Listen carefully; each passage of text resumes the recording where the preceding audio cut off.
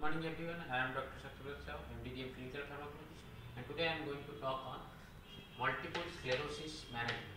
And we all know that multiple sclerosis is the most common cause of chronic neurologic disability in young adults, and its prevalence is 1 in 1000. And the symptoms of multiple sclerosis is numbness or weakness in one or more limbs, uh,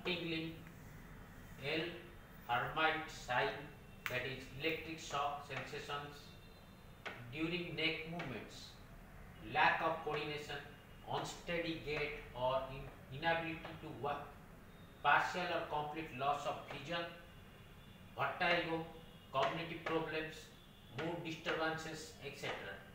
And to diagnose multiple sclerosis, we can use biomarker tests, spinal tap, that is lumbar puncture, MRI, magnetic resonance imaging test, evoked potential test, etc.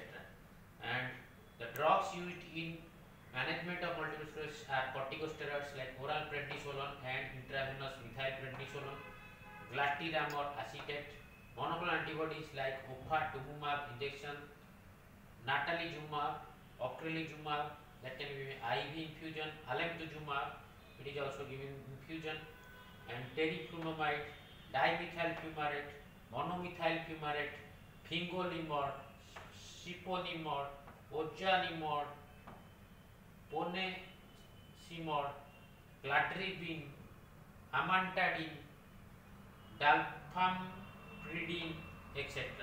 These are the drugs we can use in multiple sclerosis, but uh, we should be cautiously use these drugs, and the drugs to be used cautiously according to the guideline.